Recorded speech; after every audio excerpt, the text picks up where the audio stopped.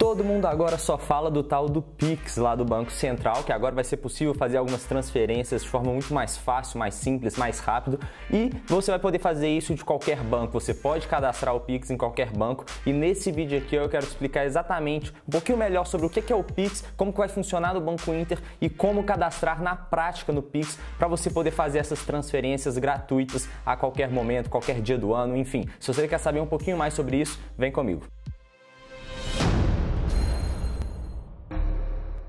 Fala galera, beleza? Meu nome é Henrique Stuart, eu sou certificado como especialista em investimentos pela Ambima e nesse vídeo aqui eu quero te mostrar na prática, dentro do aplicativo do Banco Inter, como que você pode cadastrar ali o passo a passo para você criar a sua própria chave do Pix e começar a fazer transferências a partir do momento que você quiser, qualquer hora do dia, qualquer dia do ano, enfim, tudo isso vai ser possível e eu vou falar tudo isso nesse vídeo. Então se você curtiu a ideia desse vídeo, já deixa seu like aqui embaixo e deixa nos comentários falando se você vai cadastrar uma das suas chaves lá no Pix, beleza? Bora lá! Primeiro de tudo, tudo, se você está chegando aqui de paraquedas e ainda não sabe o que é o Pix, basicamente de forma muito resumida, porque eu já fiz um vídeo aqui no canal que eu vou deixar na descrição aqui o vídeo falando tudo sobre o Pix, como que vai funcionar, mas se você ainda não viu e de forma bem resumida aqui, o que é o Pix? É um sistema de pagamento instantâneo que o Banco Central está criando para você conseguir fazer de fato qualquer transferência. É, vai substituir a TED, o DOC, boleto e todas essas que tem alguma dificuldade a mais, algum custo e alguma, algum tempo a mais que você precisa demorar para conseguir fazer fazer isso, então agora vai ser possível fazer de forma muito mais simples, muito mais fácil, muito mais prática.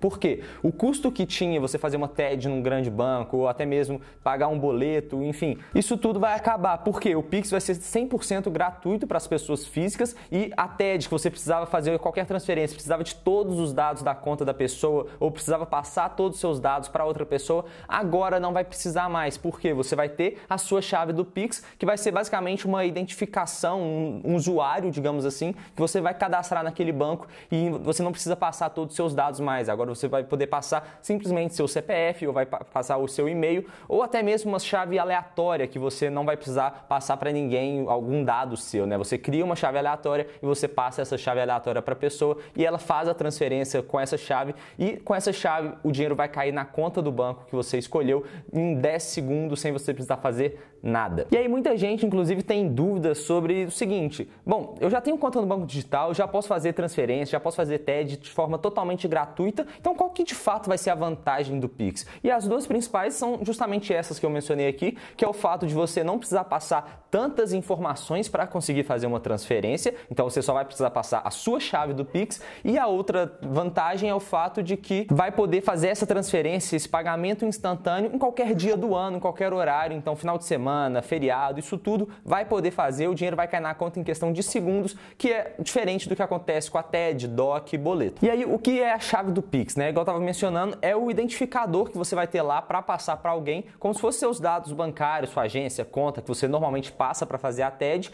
Você agora não precisa passar tudo isso, só precisa passar aquela chave do Pix para aquela pessoa e o dinheiro já vai cair na conta do banco que você escolheu. E aí, algumas das perguntas que chegaram no meu outro vídeo lá falando sobre o Pix, que eu deixei aqui na descrição, foram as seguintes: quantas chaves do Pix eu posso ter? Eu posso usar a mesma chave no, em bancos diferentes e se eu posso usar as chaves diferentes no mesmo banco. E vão lá por partes. Se você pode ter quantas chaves? Você pode ter no máximo cinco chaves que você vai poder escolher. Você pode colocar as cinco chaves de fato no mesmo banco. Você pode colocar as cinco chaves em cada uma em um banco diferente. Você pode usar só uma chave em um banco que você queira, mas você não pode colocar a mesma chave em dois bancos diferentes. Por quê? Pelo fato de que na hora que você passa a chave para alguém, ela vai transferir o dinheiro e o dinheiro vai ter que cair em alguma conta do banco. Se você fala, bom, essa chave é do Banco Inter e do outro banco X, do Nubank, do Itaú, o que quer que seja. Se você fala que essa chave é desses dois bancos, quando a pessoa fizer uma transferência, em qual banco que, é, que o dinheiro vai? Para qual banco o dinheiro vai, né? Então você não pode colocar a mesma chave em bancos diferentes. Só não pode fazer isso, mas você pode colocar cinco chaves no mesmo banco. Você pode ter cinco contas em bancos, colocar as cinco chaves, cada uma em um banco diferente. E se você quiser também mudar depois, você pode fazer uma portabilidade de chave e colocar a chave que você tinha cadastrado em um banco em outro banco. Bom, então agora vamos na prática dentro do aplicativo do Banco Inter para entender exatamente qual é o passo a passo para você cadastrar uma chave do Pix pelo aplicativo aqui para você começar a receber o seu dinheiro, a, a, qualquer transferência dentro do Banco Inter. Então, primeiramente a gente vai fazer o login aqui no Banco Inter, entrar aqui com o próprio Face ID e aqui com a tela do Banco Inter aberta, logo de cara já vai ter aqui em cima o Pix. Então, basta a gente clicar aqui no Pix e já vai aparecer essa tela falando para você cadastrar uma chave, que eu não tenho nenhuma chave, para você pagar ou receber pelo Pix. E aí já dá até para ver aqui que tem uma parte falando de pagar e receber, que você vai poder apontar a sua câmera do celular para algum QR Code específico ou até mesmo gerar um QR Code para receber, caso você não queira fazer isso pela chave do Pix, você pode fazer pelo seu QR Code, que vai ser um QR Code vinculado à sua chave. Então, para você não ter que ficar passando a chave toda hora, digitando, por exemplo, o e-mail, você simplesmente aponta o celular e gera o QR Code para outra pessoa. E aí, vamos aqui então cadastrar uma chave e a gente tem todas essas opções de chave e o próprio Banco Inter já fala quando que é indicado utilizar cada uma das chaves. Então você pode fazer pelo seu CPF, que normalmente quando tem uma formalidade maior, você for passar uma chave para uma empresa, por exemplo, é interessante você usar a do CPF. Se você quiser usar a chave do celular, é interessante para quem já tem o seu número de celular ali nos contatos, então fica muito mais simples, muito mais prático para aquela pessoa. A chave do e-mail, que é exatamente a mesma coisa para quem já tem o seu e-mail, até mesmo que você queira usar o e-mail para não ter que passar nenhum dado seu um pouco pouco mais privado, digamos assim, por exemplo, o CPF,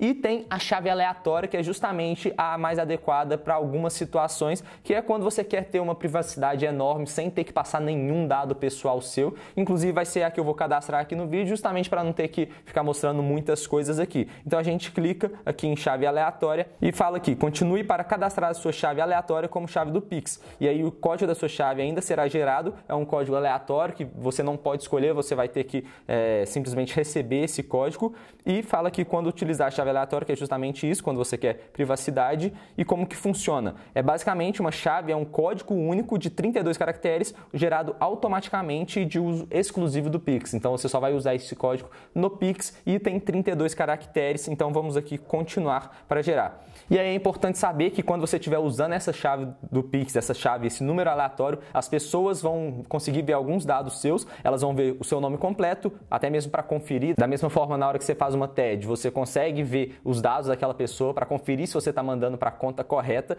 Ela vai ver alguns dos números do seu CPF só para poder confirmar também, não vai mostrar todos por questões de segurança e mostra onde que a chave vai estar cadastrada, que é qual o banco que o dinheiro vai cair. Então basta a gente continuar aqui e confirmar para realizar esse cadastro. E aí chave em análise, pedidos realizados em algumas janelas de horário ficam em análise, você receberá o retorno em algumas horas. Isso porque eu estou gravando aqui no horário de 6 horas e 27 minutos de um sábado à noite, então provavelmente isso realmente não acontece, vai ter que esperar o dia de semana para finalizar esse cadastro. E aí basicamente agora é só esperar esperar, tá? a chave está aqui em análise, você vai receber o seu retorno em algumas horas e a gente espera para ter essa aprovação da chave do Pix. Mas dá para ver que é extremamente simples, extremamente fácil de você fazer, é muito didático, é só seguir o passo a passo, não tem mistério nenhum para fazer isso tudo aqui. Provavelmente para cadastrar os outros chaves também vai ser a mesma coisa, você vai, só vai ter que colocar lá os seus dados, seu, seu CPF, seu e-mail, até mesmo já vai estar tá preenchido porque você precisou colocar esses dados